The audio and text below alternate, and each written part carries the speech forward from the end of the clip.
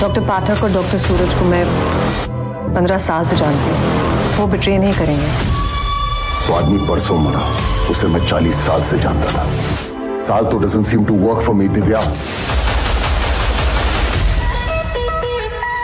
Capital N capital O that means no इतना समझता है तो क्यों बार बार आता है? पठान की कौन सी क्वालिटी शाहरुख को बनाती है बादशाह? क्या दीपिका पादुकोण को शाहरुख के साथ लगता है सिक्योर? कैसी होगी दो स्पाइस की लव स्टोरी दोस्तों, नमस्कार, मैं हूँ प्रकाश विश्वकर्मा।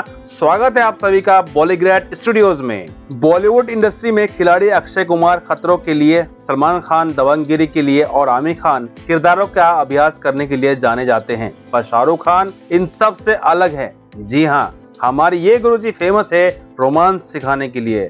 छप्पन साल के होने के बावजूद भी इनका चाम कम नहीं हुआ है। ये बात अलग है कि उनकी आने वाली फ़िल्म पठान में इन्होंने ही रोमांटिक अंदाज ना दिखाते हुए, बाहें ना फैलाते हुए सीधा एक्शन से हाथ मिलाया है। पठान फ़िल्म हो या कोई और, शाहरुख खान का चाम कभी खत्म नहीं होने वाला है। जैसे कि हमने आपको पिछले वीडियो में बताया कि शाहरुख पठान खानदान में बिलोंग करते हैं। जिनका रुतबा अलग होता है, जो सच में एक फाइटर कहलाते हैं। और खास बात ये भी होती है, जो शायद दुनिया में किसी को नहीं पता, और वो है लवेबल पर्सनालिटी अब आपको पता चल चुका होगा कि शाहरुख खान कितने चार्मिंग क्यों हैं। उन्हें यही तो फ़ायदा हुआ पठान खानदान में पैदा होने का।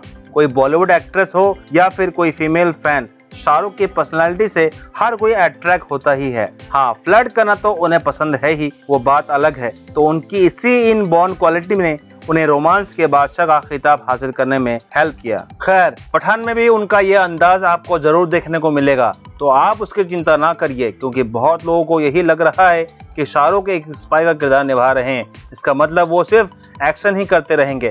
ऐसा बिल्कुल भी नहीं होगा, क्योंकि डायरेक्टर सिद्धार्थ आनंद शाहरुख के एक्स फैक्टर को छुपाने की कोशिश नहीं करेंगे। दोस्तों, वैसे पठान फ़िल्म में शाहरुख के साथ दिखाई देंगी उनकी लाडली हीरोइन दीपिका पादुकोण। टीजर में दीपिका की झलक देखने के बाद उनका एक्शन क्वीन वाला और फैंस को काफ़ी पसंद आ रहा है। दीपिका और शाहरुख को बॉलीवुड के ऑन स्क्रीन कपल्स में से पावरफुल कपल माना जाता है। तो ये दोनों पठान फ़िल्म में सिर्फ़ अपने मिशन पर ही नहीं, बल्कि अपने लव स्टोरी पर भी तो काम करेंगे। दीपिका भी इस फ़िल्म में एक स्पाई का किरदार निभा रही है। तो हो सकता है कि उन दोनों को अपने मिशन की वजह से और जॉन अब्राहम जैसे खतरनाक माफिया को पकड़वाने के लिए अपनी लव स्टोरी छुपानी भी पड़ सकती है। इसकी दूसरी पॉसिबिलिटी ये भी बताई जा रही है कि दीपिका और शाहरुख पहले तो एक दूसरे से अनजान होंगे और उनका मिशन एक होने की वजह से किस्मत उन्हें एक साथ मिला सकती है। वैसे एक था टाइगर फ़िल्म में भी, सलमान और कैटरीना ऐसे ही एक मिशन के ज़रिए मिलते हैं। वैसे फ़िल्म में ये दो स्पाई एक दूसरे से कैसे मिलेंगे, ये तो आने वाला वक्त ही बताएगा। पर जो भी हो, दीपिका पादुकोण जब शाहरुख खान के साथ होती है, तब उन्हें रोमांटिक केमिस्ट्री क्रिएट करने में कोई दिक्कत नहीं होती है। और ये खुद दीपिका का कहना है। दीपिका कहती है कि शाहरुख है ही इतने चार्मिंग कि वो एफर्टलेसली ऑन स्क्रीन रोमांस कर सकते हैं। और इसीलिए मुझे भी उनके साथ काम करने में मज़ा आता है। और सबसे बड़ी बात की सिक्योर लगता है, क्योंकि शाहरुख खान जितने लवेबल हैं, उतने ही प्रोटेक्टिव भी हैं। इसीलिए हमें नेचुरल परफॉर्मेंस देने में कोई परेशानी नहीं होती है।